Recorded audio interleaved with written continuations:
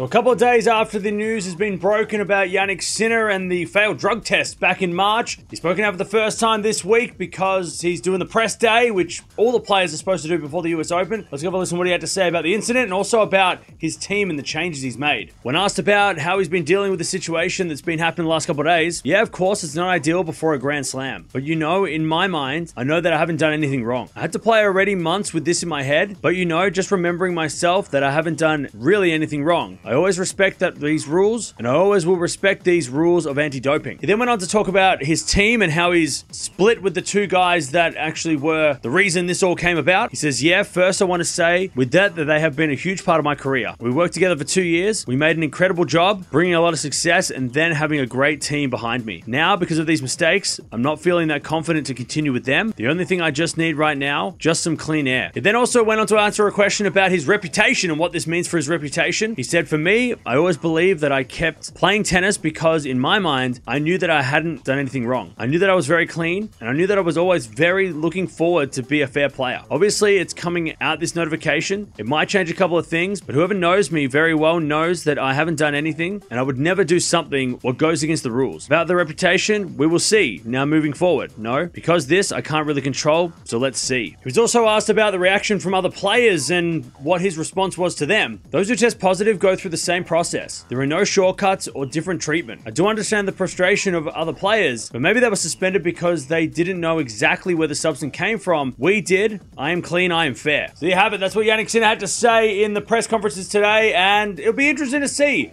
how he goes into the US Open because he did fire the two guys that were responsible for this mess, the physio and the trainer as well. So it's going to be really interesting to see how he goes forward, if he's got new people involved or if he's just going to use, I guess, the tournament physios and stuff like that. But yeah, very interested to see how he goes going into this US Open. He's one of the favorites, not the favorite. I think it's still going to be uh, Djokovic and Alcaraz ahead of him just based on maybe the last couple of months in form.